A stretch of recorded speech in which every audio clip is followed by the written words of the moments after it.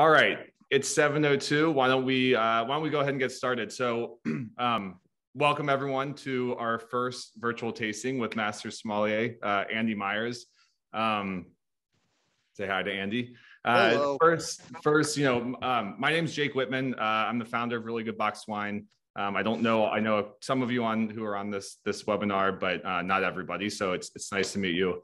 Um, I am so excited for you all to be here to get to know Andy. Um, this should, if you know Andy, this should be a really fun hour. He's full of stories, and uh, if you were if you were joined if, if you joined a few minutes early, I know some of you joined a few minutes early and heard some of the the back and forth. Um, you can tell he has he has moved to Hawaii and uh, is living living the dream. So um, Yeah, that's not a virtual background.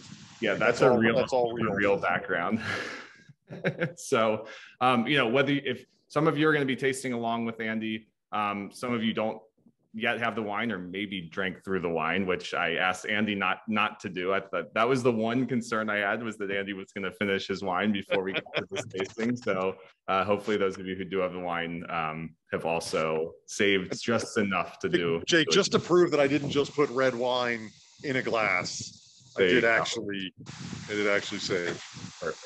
Perfect. Um, all right. So before we get started, you know, um, just a quick kind of background. You know, we re- we we started really good box, box wine with one mission in mind, right? We want to significantly elevate the quality um, of wine in the box wine format. Um, some of you on here know a little bit more about the journey that we're on than others, but we are still pretty early in this in this mission, um, and meaning that all of you who are on this call are some of the earliest people to to try our wine. Um, this is our this Cabernet Sauvignon is the second release that we've done. We have a couple more coming out that we'll talk about. Andy has had had the chance to try these, um, and aside from me and a couple other people, nobody else had. So I'm really excited to bring those to the world. Um, and so just choosing what wine you drink is serious business. It's an important decision. So thank you for for trusting us with uh, with with that decision. So a couple of quick housekeeping things. Um, down below in the chat, you'll or down below in the Zoom, you'll see both a Q&A and a chat.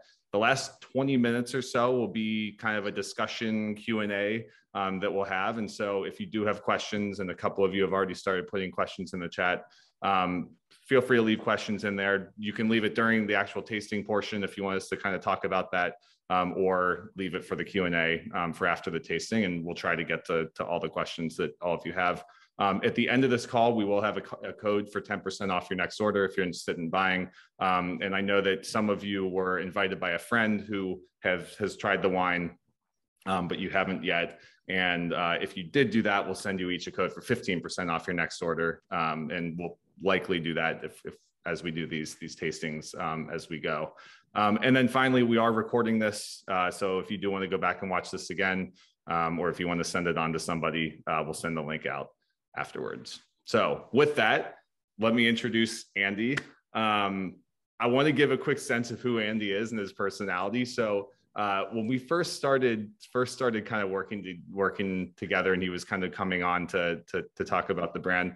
I asked him to send me a bio, and I want to read the bio that he sent me. so the bio that he sent me says. Andy Myers has been in restaurants since he was 14 years old when he took a summer gig working banquets at the Terrible Country Club.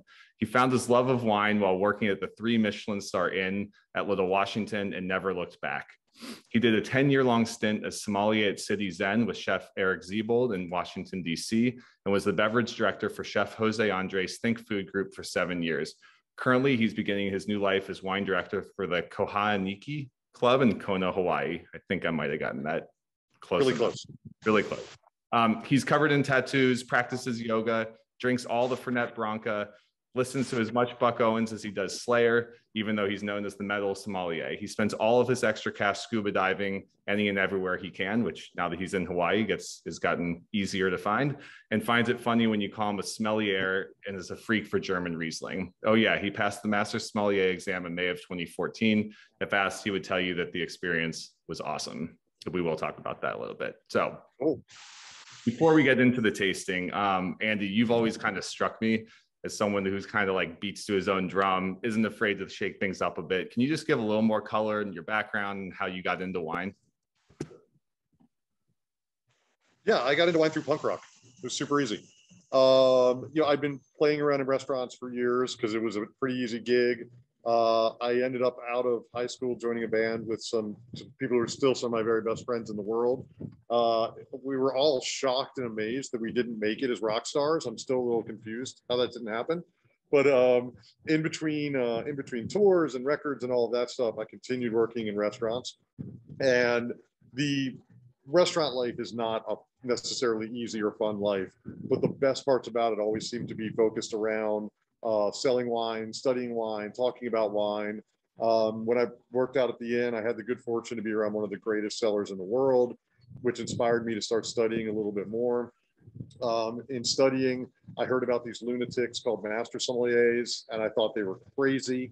Uh, I went and took one of their one of their classes, and I thought this is insane. Who could who could ever do this? Who would ever want to do this? I don't I don't think this is necessarily something I can pull off.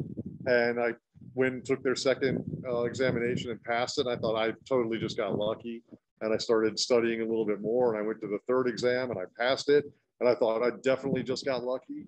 And then uh, all of a sudden I was invited to sit for the master's exam. And it only took me five more times and years to get over the hump with that. But yeah, it really was just, you know, when playing in bands, it was real easy to quit a restaurant job and go on tour.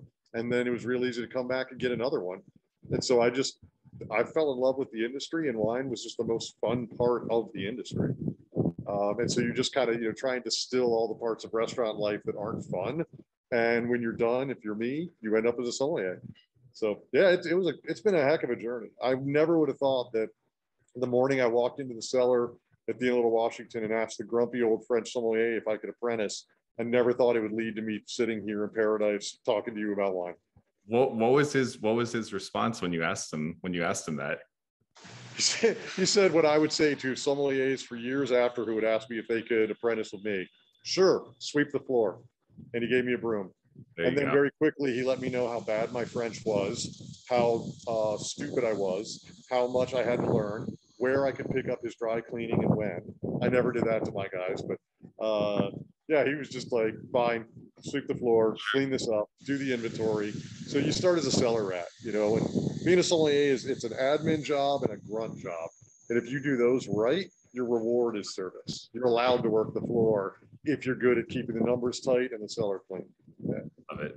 Great. Well, we'll have a chance to talk a lot more about that after the tasting. But uh, I know cool. people are on the East Coast. It's it's well into the evening. It, it's seven o'clock.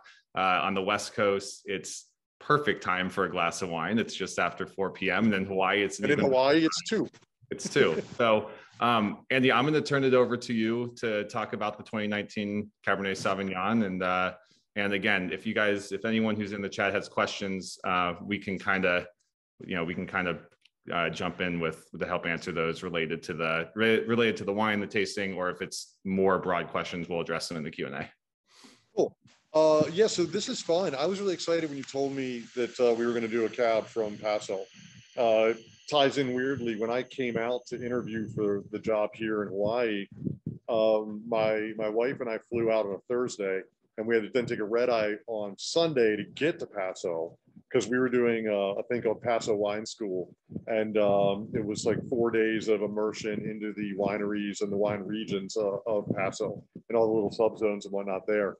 And so we we drank a bunch of wines at Paso while I was interviewing for this job, which was really kind of cool.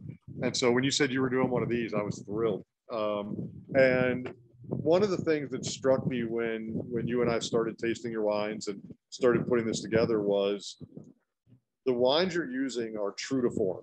They, you know, and as you you'll point out to folks, you know, always a single vintage, always a single varietal, um, always you know from one place. And so I expect them, when you and I first talked, I expected them to be what I would say correct. I expect them to taste like where they're from, taste like what the varietal is, all of those things. And I was immediately impressed because um, I'm sorry, somebody wants you to put on your Hawaiian shirt. I'm all for that. I just saw that. I do have a Hawaiian shirt upstairs. I could. I have I extras. I can mail them over to you. No yeah, yeah, yeah. But, um, but so yeah, so when we get to this one, so this is Paso Cab. So what did I before even tasting it? What did I walk in expecting out of this wine? I expected ripe fruit. I expected a judicious use of oak. That's how you know I haven't had much to drink. That's one of my favorite uh, test phrases for people to see if they're drunk. Can you say judicious use of oak and get through that phrase. Get through that. yeah, Um, we'll give it. We'll but- give it another twenty minutes of tasting, and then we'll Yeah. come back to that one. Uh, but I, I expected the oak not to be heavy-handed. I expected the fruit to be ripe, and uh, Paso wines literally bring sunshine to me uh, because there there is that. You know, while they have this beautiful diurnal shift, so I'm also expecting polite acid in the wines. Uh, I am expecting that warmth, that sunshine, that restorative uh, style of cab, which is exactly what this is bringing, which is super cool. I'm going to take another sip because I can. I'll I'll sip with you. I appreciate that. I don't like to drink alone. I mean, I'll do it, but um. So in this case, it's got all that cab stuff, currant, cassis. The the fruits are juicy, they're ripe, they're very full. But what this isn't is like 94. I didn't even check the alcohol level on it, but it's not egregious at all. I mean, it's it's a bigger style wine, but it's cab. I expect that. The tannins are there. They're doing what tannins are supposed to do in a Cabernet. And I, when I do this, it's the opposite of how I look right now. Cabernet tannins are like they're a, a polished banker. You know, they stand up straight and they're very, they're very. And son, you should really think about your future. I got one word for you, and that's plastics. You know, um, and cab tannins do that, which you have here. They're right down that front palate, standing up straight. Without it, this wine would have gone off the rails because it because of all that juicy fruit, because of that nice rich ripeness to it. Without those tannins, this would just be you know a big like Turley zin. Um, oh, I'm not allowed to talk smack about other people, am I? Um, I'll try and avoid that. It would just be a big fruit bomby. Um, you know, there, there would be nothing to this other than alcohol and fruit if it didn't have that structure and those tannins to it. So for me, this is definitely. Um, I mentioned to you earlier. I've been putting it in the fridge out here because I'm not drinking a lot of uh, big reds these days. Uh, I did like it with a little bit of a chill on it. Um, I just thought it actually it, it brought the wine into this like nice comfort comfort zone, and then halfway into the glass, sitting here, it comes up to temp anyway. Um, so yeah, juicy fruit, nice uh, nice little kick alcohol to it, good tannins, good structure. What's not to like, man? I love it. Talk a little bit about um, for those of so they're probably even though it feels like we're drinking alone, I think that there's a number of people drinking drinking along with us. So can you talk a little bit about you know as you as you start and you uh, what did what you get on the nose and kind of as you take your taste Oh your sure, first yeah, yeah. end to the back end and just kind of walk through um, what people might be feeling as they're as they're drinking this. So yeah, so the first thing I do uh, is first I just I just look at a wine because it's pretty. Uh, next thing is I go give it a little swirl. If anybody doesn't know this stuff, there's people out here who know stuff and are, are wine geeks, and there's people who aren't. So for anybody who isn't, um, when you swirl, you actually release some of the esters, and so you you lift the aromas of the wine a bit. Um, I Jake, I don't know if I've done this trick with you, but uh, I love doing this when I'm tasting wines with people. I encourage everybody when you do the little swirly swirly thing, and then you're going to go put your nose in it and sniff it. Take your eyes and look down. Most of us are comfortable looking down to the left. So do that for a minute. And then take the glass away. And then this is the fun one. I want you to do the same thing, but roll your eyes to the ceiling and try and smell the wine. And you almost can't smell anything. Yeah. So when you're smelling a wine, look down. There's a whole long story behind why. I'll skip that for now, but it's super cool. So anyway, and and little sniffs. You get nothing by going nothing. Uh, it is also Look, uh, look- I- except look cool doing it. oh yeah, and I roll pinky out. Speaking of cool, you know, because that's I'm, I'm classy like that with a K, classy K. So um, but yeah, so you take a small sniff. And this, the first thing I get is actually there's a little bit of oak on this. There's a little vanilla floating on the top of it. Ripe black cherries. There's a cool little like uh, leather note that just popped into it. Which that I like that, like sort of a like good worn leather. Yeah, I like that because I, I like earthiness. I like some stank in my wines. Um, and then those fruits come through. It's that currant, cherry, cassis, but they're all really ripe. Um, and ripe, like think about your fruits like that, almost like Chambord liqueur.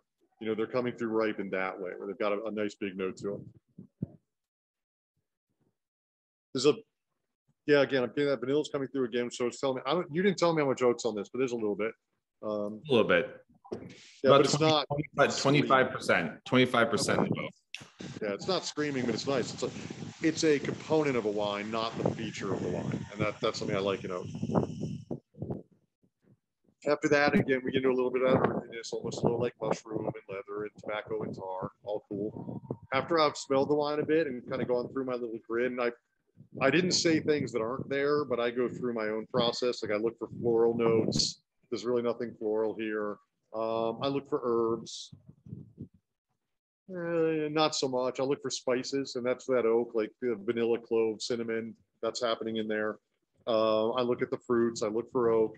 After that, I go on to the fun part, which is drinking the wine.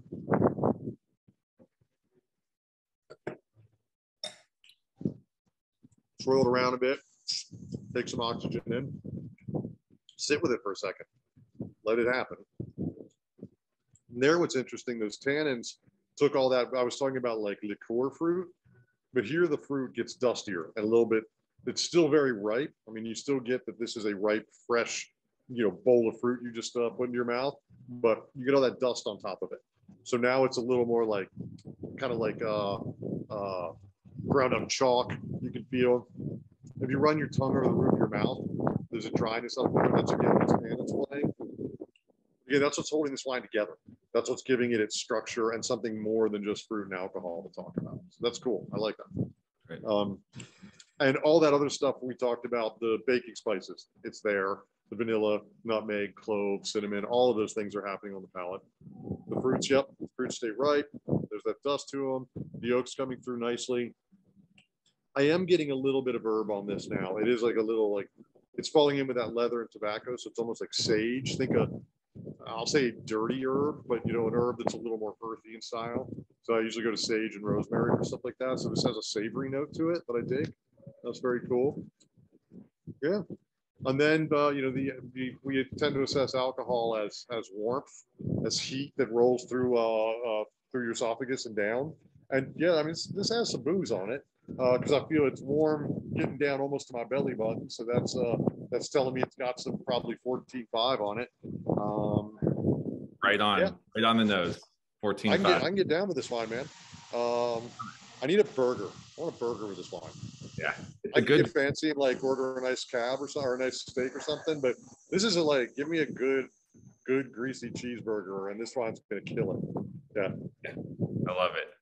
We we have uh we have a we do have a request for the long story of looking down the smell. the We'll get to the. There's a couple other questions in here, but since we're on it, the long story of Sure. looking down the smell the wine. Um, so as I understand it, when we were like plain dwelling monkeys, the things that could kill us came at us from the horizon down. Okay, so when you are taking in new information, when you need to process information, particularly sensory, physical sensory information, the smells of things that could be hiding out in the grass, um, things of that nature, you look down because that's where you're looking to take in. If I ask you, all right, uh, what did you do two Friday nights ago? You will inevitably look up and to the left or the right, you go, um, oh yeah, that's the, okay. Okay, yeah, we, we went to the movies that night, but first we stopped at our friend's house and we had a drink. So when you're looking for information that you know, cognitive functions, you look up. When you need to bring information in, you look down. It's just apparently how we're hardwired. So to look up shuts off the part of your brain that brings in new information. So when you're looking up, your brain goes into I'm trying to find something I already know mode rather than I'm trying to bring something new in. So your your nose just shuts down. It does, it's not needed at that point. Yeah, I know. When I learned that, I was just like, ah. It's definitely true. I mean, yeah, I look so back- weird. when I look up, I can't. That's that's true. Yep. So that's as I understand it, that's the story. And even if it's not, I'm sticking to it. Stick to it. It sounds Yeah. good. It sounds right. Yeah, and it- it's also it's your new party trick. That's right. I expect everybody to win a couple of free drinks at a bar doing that. So Um, cool. Well, let's let's talk a little bit about um, the the uh, the other two varietals. I mean, we don't have them in front of us to taste, and No. nobody nobody here uh, has has tried it except for except for you and me. Yeah. Um, but they're coming soon, and and so so one of the questions in the Q and A is what varietals can we expect next and when? So let me I can answer that question really quickly, and then Andy, you can talk a little bit about them.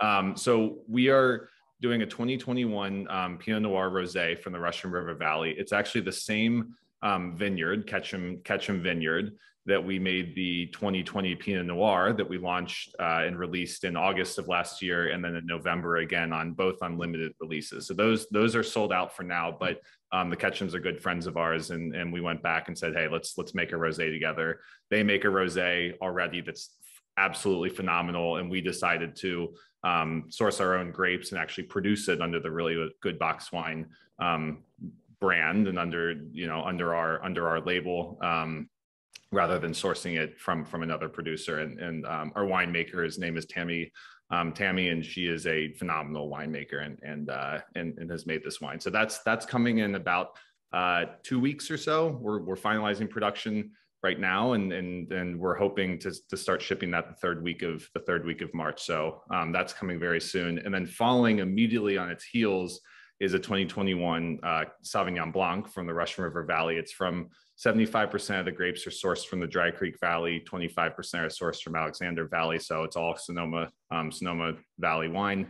Um, and again, we we source those grapes and produce those, and Tammy Tammy made that wine as well. So those are the next two varietals. We're we're now talking about to to some other producers about what's coming after that, and so we don't have that kind of firmly set and, and finalized and announced, but um, we are looking at some um, some really interesting and, and, interesting wines from from great producers both within California and outside and outside California. So Andy, you have tried the rosé and the yeah. Sauvignon Blanc. Can you talk a little bit about them? I remember the first thing I said to you when I tried the Sauvignon Blanc was because I was surprised uh, being in California Sauvignon Blanc. I said, "Oh, this actually tastes like Sauvignon Blanc." Uh, and so many producers in California just go out of their way to make it not taste like Sauvignon Blanc Semillon into it. They'll cut Viognier into it. Why anyone would cut Viognier into anything. Um, but they kind of go out of their way to lose that grassiness, lose that that high acid. They'll throw oak at it to round it off a little bit. And to me, the magic of Sauvignon Blanc is that like bright, zippy acidity, that zing, that crisp note to it, that grapefruit, uh, the little grassy notes to it as well. And this this had that. It was full climate Sauv Blanc. The acid was up on it. It was bright and fresh. That's actually the one I'm looking forward to the most because I will crush that wine out here. That's like that's all day, all day drinking wine and wine. Um, and yeah, so that was my my favorite thing about that is it was, you know, and I said to you again, I brought it up with the cab. I'm bringing it up here. Um, I'm looking for correct in wines. Does it taste like it's supposed to taste? And that's the thing I really enjoyed about the Sauv Blanc. It tasted like Sauv Blanc not like California white wine. Mm-hmm. So that that one I'm really stoked about. Uh, the Pinot Noir, similar uh, in that you managed uh, to keep the the Pinot itself had a good restraint level to it, and it was the first of your lines that I tasted. So, and that was kind of the wine that I thought, okay, I think I can, I think I can do this. I think I can be a part of this because you you made a very nice wine there, and we'll get into other reasons I love the company. But um, so what I found on the rosé it actually had restraint to it. Um, you're seeing too many rosés these days where they're just throwing. To me, they're they're almost sugary. Uh, they're getting too big. I think a lot of people forgot. You know, it's fun to say rosé all day, uh, but I think people forgot what rosé is, um, and it's supposed to be light, quaffable. You know, for the most part, afternoon wine to sip on sitting here but uh but it's you know it's supposed to be a light fun easy wine, and you have too many people now trying to make you know serious rosé.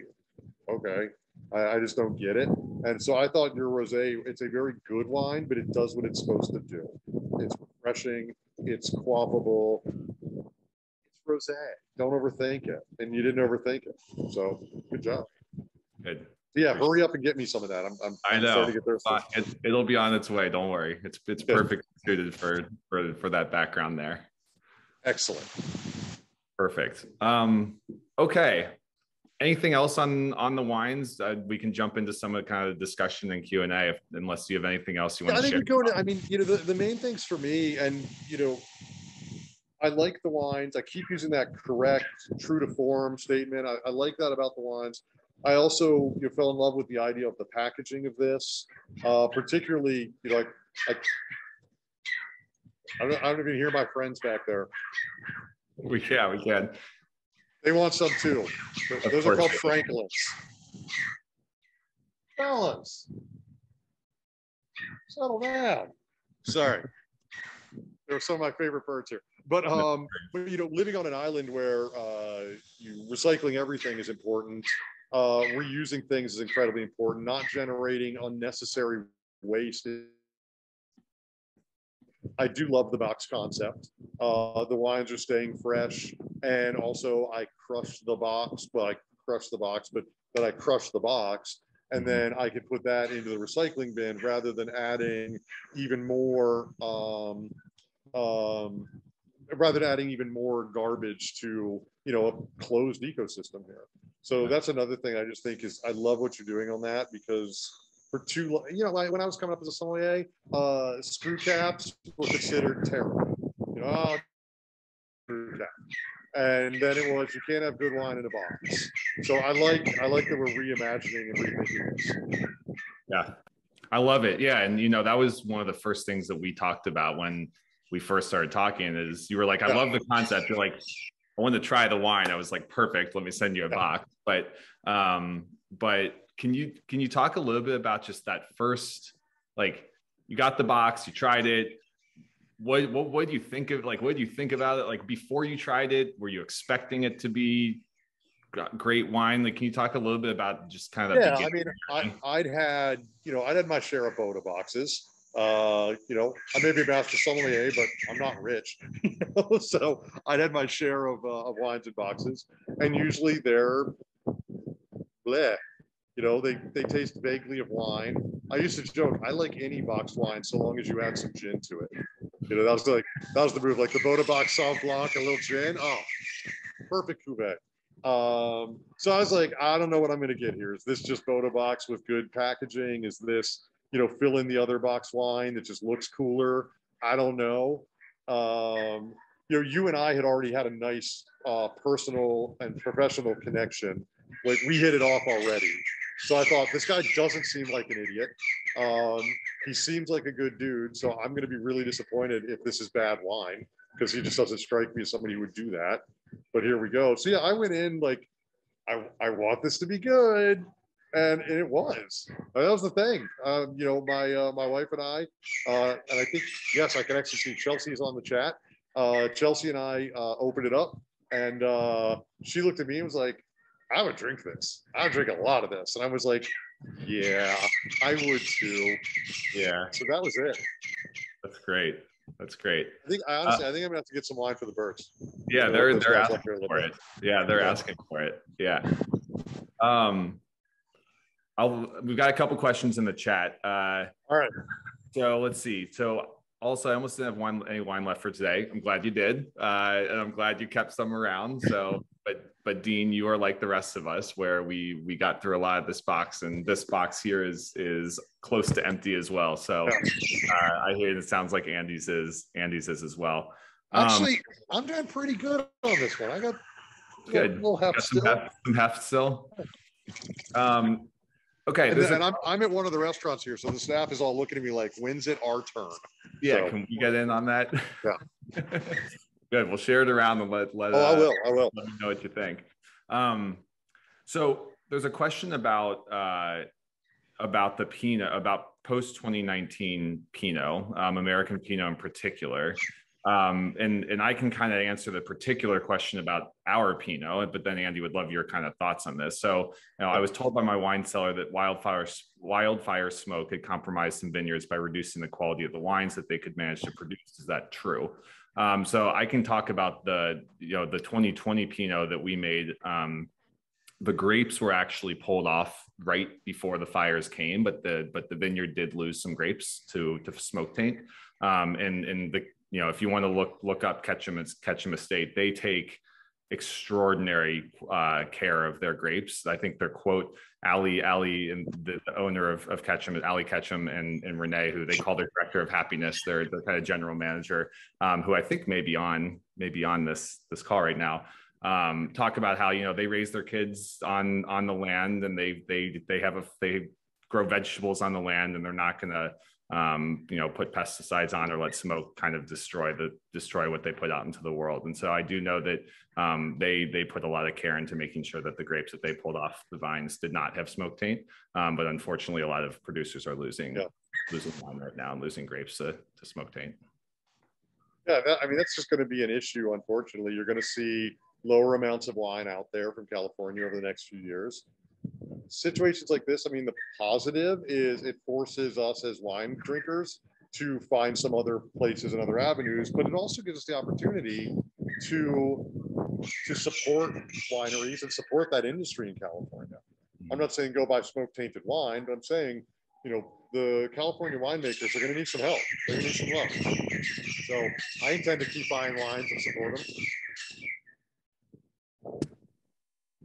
I, all of a sudden, I feel like Jack Hanna, the like the animal guy from the, the old Letterman shows and stuff. You're like Ace Ventura, Pet Detective. You just got your, you have your exactly. animals around you.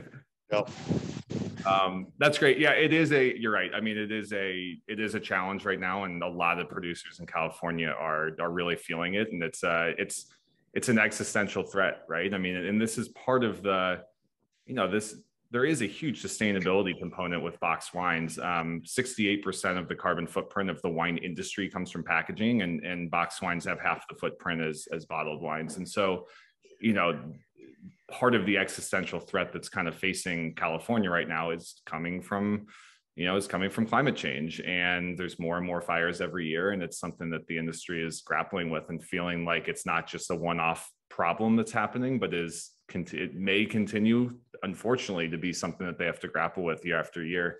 Um, so you know, it's it's definitely changing the way the industry operates in a lot of ways. Um, but I decided to start playing with the mute button to help out there. Sorry. Oh, there you go. um, so anyway, so yes, but it is a challenge. Um, we take a lot of care not to get smoke tainted wine, and as do most you know most higher end producers are, are looking are really careful about finding grapes that don't have smoke taint but it's a it's definitely an issue. Um so not for long. Hope they have some good long. rainy weather out there soon. That's right.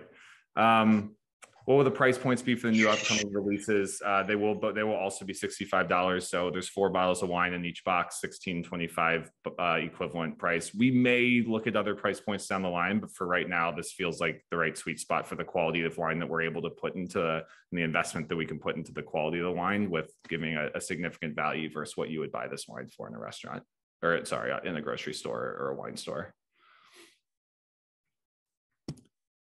Okay, uh, let's go back. We'll come back and, uh, and answer a couple more of these Q and A's. Um, but let me let me jump in with another question. So you know we've talked a little bit about packaging. You know this is a trend I think that's that's coming. Can these you know screw caps, can't then then canned wines, now box wines, um, and there's some really interesting trends. What are some interesting trends you're seeing in the wine industry that are outside of packaging? Like what do you what are you interested in? What are you seeing producers do that you think are cool? Hmm. What are people doing that's cool these days? I've been I've been so interested in like how packaging has been moving with wines. Um, just seeing a little bit more of grower, and it's more for me, uh, grape growers, uh, looking for alternative varietals as the world's becoming hotter. Uh, people are shifting into different little pockets to grow the you know the usual suspects but then you're also seeing people uh, playing around a little bit with you know, uh, Gruner Veltliners up in uh, uh, Oregon. Um, you're seeing folks in the Finger Lakes now playing with some more like uh, grapes from the Jura, more Gamay popping up in the United States. So I, I, think it's interesting seeing how people are experimenting more. I mean, that's one of the fun things about American winemaking. There really aren't any rules. You know, outside of basically Napa Cab, there aren't rules. You know, you can do whatever you want. So more than anything, I, I've just been enjoying watching people try to break new grapes into the market.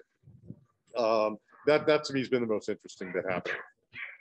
What are some of the? Can you talk a little bit about the rules that California and um, some you know people who are on this call who are who are very wine knowledgeable wine experts probably know a lot of these rules, but some people may not. Just we don't have to go in depth, but kind of the difference in the rules between American wine and European wine and, and other imported wines. I mean, a lot of it, particularly if you want to play in Napa, is just the the price of admission to buy a vineyard, and you have to make so much wine at a certain price point just to break even out there. Which you know, so you kind of have to you have to make the wine that gets you the points if you want to sell enough wine to not go bankrupt or have to sell your whole your whole winery. Um, so you know, there just came a point where if you weren't getting 95, 98 Parker points, you weren't going to be able to stay alive.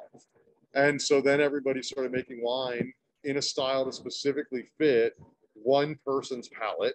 And then that person basically created what became you know, the Europeans would tell you it's the American palate, but it's not. But it's the high-end collector palate, and that palate drove Napa Cab, Napa Cab prices, Napa Chard. Um, you know, so that to me, the the the Napa Cab rules are, you know, you can't make wines. You can, but very few people can make wines in the way they were doing before '94. You know, very few people are making those like really cool Heitz wines. Heitz, of course, is still doing it, but um, or Stony Hill or Chateau Montelena or you know or what uh, what the Diamond Creek wines tasted like in the 80s where these were like balanced wines really focused not massive fruit bombs not over extracted um, but that those don't fly anymore it's not what people are asking about uh, whereas in you know the European model was always and even that's changed you know the the the critic who shall not be named, uh, you know, changed everybody in that way. But even you know, originally in Bordeaux, it was this is the way Latour makes wine. End of story. And it stopped being Latour chasing. Well, Latour didn't chase points. Latour made Latour, and then Latour started chasing points.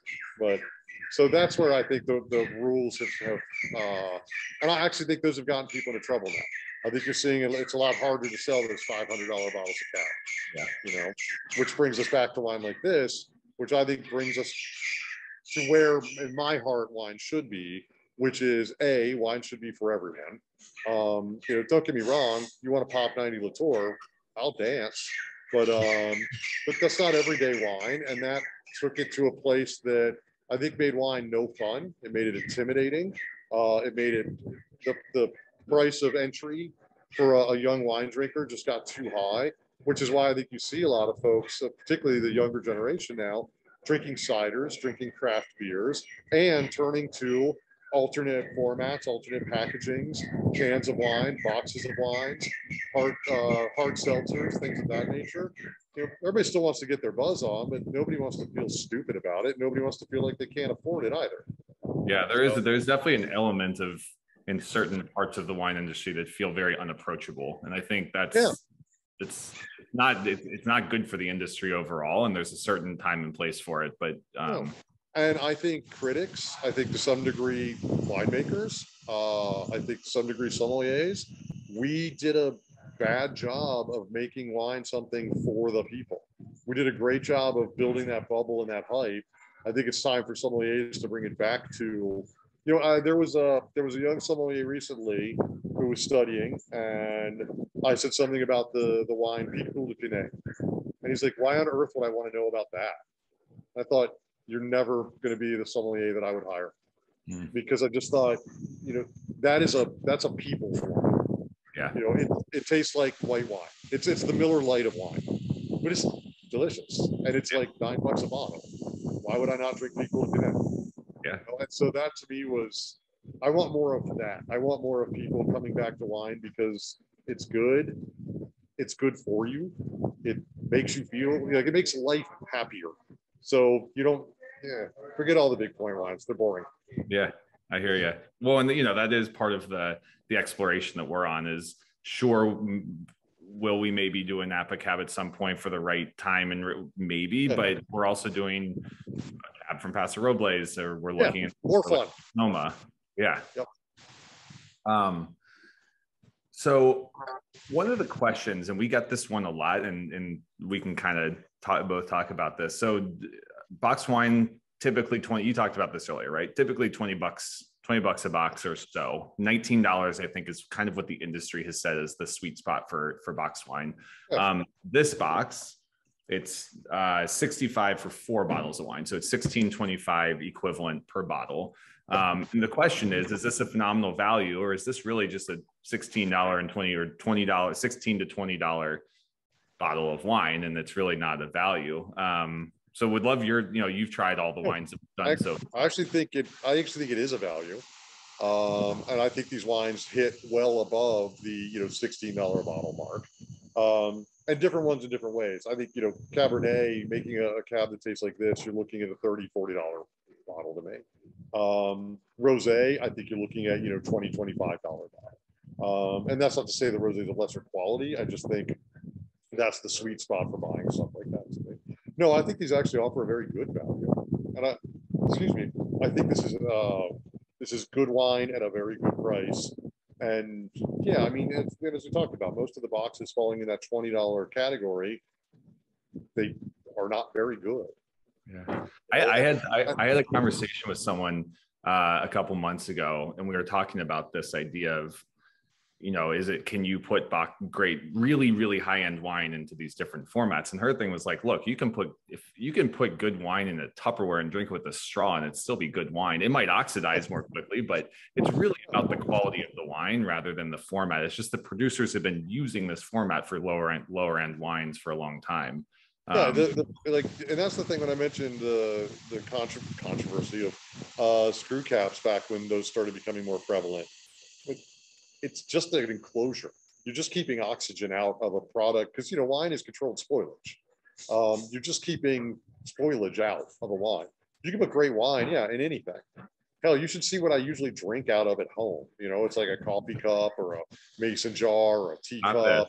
Um, I have a couple wine glasses at home. It, it's funny. Um, uh, I've never met anybody who's better at uh, hunting thrift stores than my wife.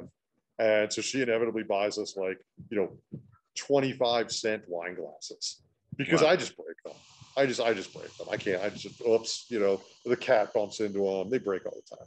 Um, I've had the like, I've got Zalto glasses. Oh, great. I just broke a $40 glass instead of a $2 glass. yeah. So yeah, I'm drinking out of this right now because uh, this is the restaurant. you know, their but, glass. uh, but no, I think you know it's the same thing. Does a great wine glass enhance the experience of drinking wine? Yes.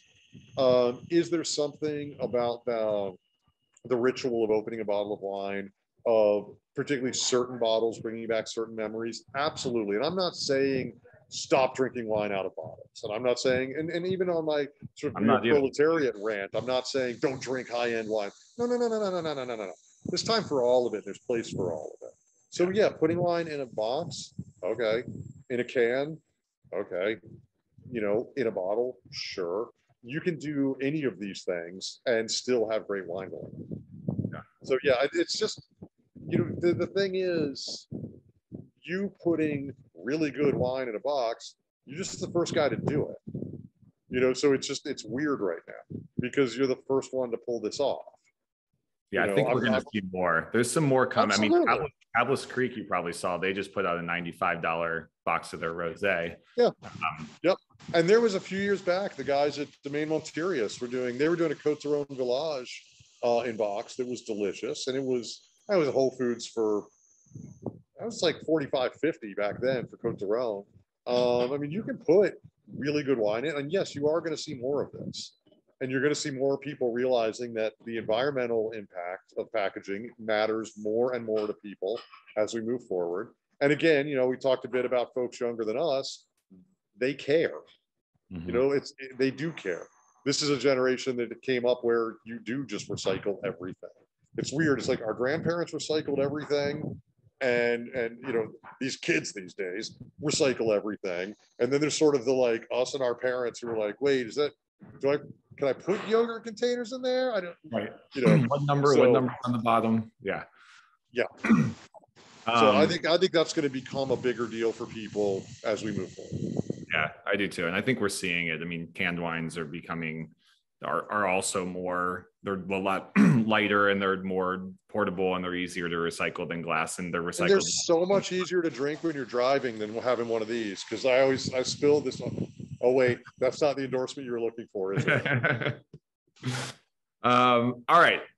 The all right, the last question I'll go from Q and A, and then we'll come back to some, and then we'll see if we can get to the rest from the end. Um, Andy, have you ever played Slap the Bag? Do you know Slap the Bag? I, there's like 900 things that just went through my brain, and none of them can be what you're talking about. So I don't think so. So the original, the way that most people, a lot of people have gotten started, had their first box wine experience was in college. You play a game called Slap the Bag, where you pull the bag out, and it's as dumb as it sounds. You slap it, and then you drink out of the spout and then you move on to the next person. There's really no point to it at all. But it's it's so no, I've not done this. Okay. So question of all is, the dumb shit I've done in my life, that's not one of them. Not that's not one. Um, it's a it is as it is as silly and and uh, has no point as it sounds, but it's awesome. it's a lot of fun. Um, it's definitely my first box wine experience back in. um, so the question, one of the questions is, is it appropriate to slap the bag with this wine? I would like to say this one has a little bit more character, and I would I would treat it a little bit more delicately. But you know what? If you want to go slap the bag, you go for it. I'm not going to stop you. If, if, if that enhances your experience with this wine, then hell yeah. That's right. That's right. Awesome. Okay. Um, let's talk a little bit. Let's move away from the wine. I'd love to just kind of hear more about your your background. Um, can you talk a little bit about what it was like working with Jose Andres? Yeah. Um, you know, working with Jose is an incredibly humbling experience because the the motto of working for him is to change the world through the power of food. You know, and I remember coming on board and thinking, well, I just sling wine what am I what am I doing here? And meanwhile, you know, like I saw Jose's Instagram this morning. Dude is in Ukraine. Of course he's in Ukraine. Of course he's feeding people in Ukraine. Wow. You know, yeah, because Jose. Um, so working with him was incredibly inspiring and humbling uh, in that sense that the working the restaurant sometimes you felt like you were you could be a little isolated from that bigger mission but then you realized the money fed the mission you know, uh, this was before World Central Kitchen, you know, got that Bezos money and all that other fun stuff. So this was when it was like, hey, the work we're doing here in the restaurants is directly funding his ability to go and do this. Um, and it also inspired us to act more charitably and to give more of ourselves and our time in in those ways. And so, I mean, that part of working for Jose was amazing uh, the creativity that just flows out of that dude all day, every day. I remember I was in Paris with him once, and we're walking down as we we we've been up in Montmartre, and we're walking down down that strip, and he's smoking a cigar, and we're looking at shop windows, and we're we're literally pulling pulling a bottle because Paris, and and he's smoking a cigar, and there's a, a shop that sells only vintage clocks, right? He's like, should open a restaurant deals with time, the time we spend at the table, what time it takes to cook food, to prepare food, to grow food. We should do something around time. And then the next shop is like lingerie. And he's like, we should do something that's about the sensuality and the sexuality of eating. And, and this is like five shops in a row. He comes up with five new restaurants, promptly forgets all of them. And then somewhere down the road, like three years later, you know, he's like, remember when we talked about doing a restaurant about time? This is a menu I want to do at Mini Bar based off that idea. And you're like, uh, I can't believe you remembered that. Uh, okay. So the, the creativity that came out of him all day, every day was at times overwhelming because you'd go working down one path and he'd come in and go like, no, do that instead. Let's go do that. Okay. And so you go do that and he'd come back to you six months later and go, well, why didn't you finish that? Yeah. Because you told me to, I don't want to hear what I told you. So we've all uh, worked with those kind of visionaries, right? Who are yeah. who are they've got a million ideas and they're amazing ideas. And, and in every sense of the word, it was awesome and terrible all at the same times.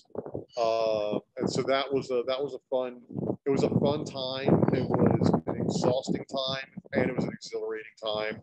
Uh, I mean, it, it's telling that seven years with Jose made me say, I'm just going to move to an island in the Pacific now. Well, I don't, I, I, I could, I don't think, I don't know how he sustains that energy. I couldn't do it after, after those years. I was just, seven was years. done. Yeah. Yeah, that's pretty amazing. Let's talk about that. So you spent you've spent so you're from DC. You've spent your entire life in the DC area, and you've just about what a month and two days ago decided to move to the most remote place on earth, which is it's a fact that I learned when I spent a couple a few weeks there, which is Hawaii is actually the most remote place on the planet. Um, It's 4,000 miles in any direction to hit land that isn't another Hawaiian island. Yeah. it's it's wild. So talk talk what talk about like why why'd you So do it? What It's it funny, guests here as they first started meeting me, and this is a, it's a, it's a private club and a lot of people just live here full time. Uh, and others are here, you know, months at a time. And so they started asking me, you know, why, why did you decide to come and work here? And I said, because they asked me if I would. Um, it was really that there came a point toward the end of time working with Jose, and it had been, it, it was, a, there was a bad day, you know, we have them. And I was talking to Chelsea and it was, it was a rough day. And she said, you know, are you happy where you are now? It's like, I'm not right now. I'm not in a happy place. And she said, you know, what do you, if you could do anything, what would you do? I was like, I would scuba dive all the time. I would get out of this, like the, the intensity of opening restaurants. And she said, well, how old do you want to be when you can scuba dive all the time? And my answer was, I want to be like 10 years ago old. yeah. And she said, well, okay, we can't do that, she said, but let's just put it out into the world that that is what we want. And we put it out there and we, we've spent a lot of time in the Caribbean. So we thought like, oh, I'll find some little resort on some island down in the Caribbean and we'll, we'll make that work. And then literally this job fell in my lap. I got a call asking if I wanted to interview for it. I did two video interviews. A week later, I flew here. Uh, the two of us flew out here and we took one look around and I looked at her and said, I'm, I'm ready tomorrow. How I'm are in. you? And look, and it was, it was tough. I mean, we left our families completely behind. They're, you know, I call, I call it like eight o'clock in the morning and it's the middle of the afternoon for them. Um, it's, I've never been away from home in that way. Uh, but I also thought, when do you ever get the chance to move to Hawaii? When do you ever get the chance to just change your entire life? Not often. And I, I've lived a, you know, a, I feel a very wonderful and adventurous life, but I thought, boy, this is an adventure. Yeah. And uh, thankfully, I have a wonderful partner who had my back and said, "I'm in. Let's let's see what happens." And yeah, so here we are. It's it's it's still all new territory for us. I mean, we literally haven't even unpacked yet, but um, Yeah, you're But, just in yeah. your you're just in your in your new place as of just like a week ago, right? well, we we moved in on Tuesday, so Two days ago. yeah. Yeah. But as I said, like I got up this morning, walked across the street, jumped in the Pacific Ocean, and went for a swim for work. Yeah. Okay. So yeah, a lot of it was just more than anything. I just wanted to change my lifestyle, and, and if I'm honest about the DC thing, uh, and I, I won't roll politics here, but the last year and a half in DC, it got dark there, like Mm. real dark, and it didn't feel like the place I lived my whole life. It got real. It was just different. Um, and I wanted to reset. I wanted to refresh. And again, when someone says, "Do you want to move to paradise?" you have to say yes. Right. We Well, figured if we came out here and didn't love it, we could always go home. But if we didn't come, we'd always regret it. Yeah, I've always felt that way about these kinds of big decisions. Is Yeah. you know, there there of course are, are life things that can get in the way, but when there's a big, amazing opportunity in front of you, the best thing you can do is take that step forward and, and jump into it and, and. Absolutely. Yeah. That's great. All right. Here I am. and here, here we are talking about box wine. Um, all right, we got about five minutes left. Uh, Nope. my last my last question for you is because you call yourself the metal sommelier. and you talked a little bit about how punk rock was your influence for Yeah. uh, for uh, for getting into wine. So, who's your favorite band? Uh, and if you could see any one band from any time in history, who would it be? Yeah, these are the worst questions because there's so many. When I mentioned in the bio that I listen to as much Buck Owens as I listen to Slayer, it's true. Um, you know, so I'm always torn on that stuff because, like, I want to go see Hank Williams in like 1942. but I also want to go see the Clash in 1978. But I also want to see Iron Maiden in 82. And I also, you know, I want to fly to Norway and see Enslaved because I've never gotten to see him play a headline except in the United States because Yeah. no one cares about Enslaved in the United States. Um, I will tell you this, if you said right now I could have tickets for anyone, I would always go see Nick Cave and the Bad Seeds. Um, they are to me these, I was, I was on about them last night, but they are like the single greatest, tightest, hottest rock and roll band I've ever had the good fortune of seeing. But uh, yeah, if you, if you just drop me out there in the world, uh, I'd probably go see the Clash. That's one, that's one I was just not, when, when I was old enough to go to shows, it was already over. Yeah. Yeah, that would be a great show. That would have been a great Yeah. show. Uh, someday. I did get to see Joe Strummer a bunch of years ago.